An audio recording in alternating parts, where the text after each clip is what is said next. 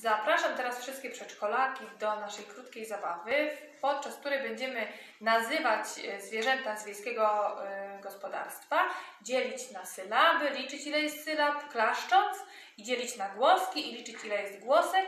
Do liczenia głosek możemy na przykład użyć kredek albo klocek, albo klocków.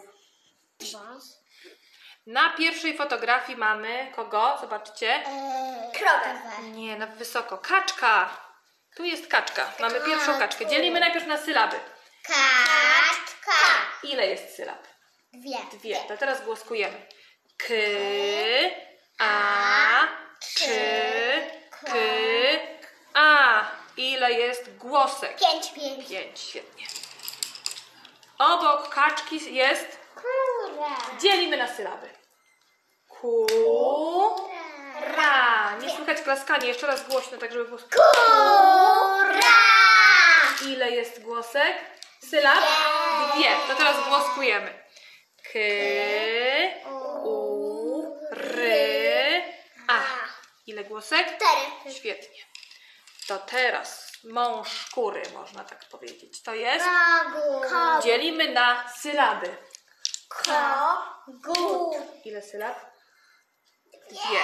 I teraz na głoski. K, A. G. u, Pięć. Pięć. K, o, g, u, t. Pięć. To teraz mamy świnkę. Dzielimy na sylaby. Świnka. Ile? Dwie. I głoskujemy. Si, w, i, n, k, a. Dużo tych głosek. Ile? Sześć. Sześć. Świetnie. To teraz ta największa. To, Krowa. to dzielimy na sylaby. Krowa. Dwie. I głoskujemy. K, A. o, w, a. Pięć. Pięć głosek. Teraz mamy takiego śmiesznego jegomościa. Dobrze, dzielimy na sylaby. Indyk. Dwie. Dwie sylaby, dobrze. I głoski. I, ny, dy, y, k. Jeszcze raz. I, ny, dy, y, k. Pięć. tych głosek? Pięć. Doskonale. I zobaczcie, taka do kaczki podobna, ale z dłuższą szyją. To? G. Dobrze. Ile ona ma sylab? Gęś. Jedną. A głosek ile ma? G. E, ś. Trzy. G, e, ś.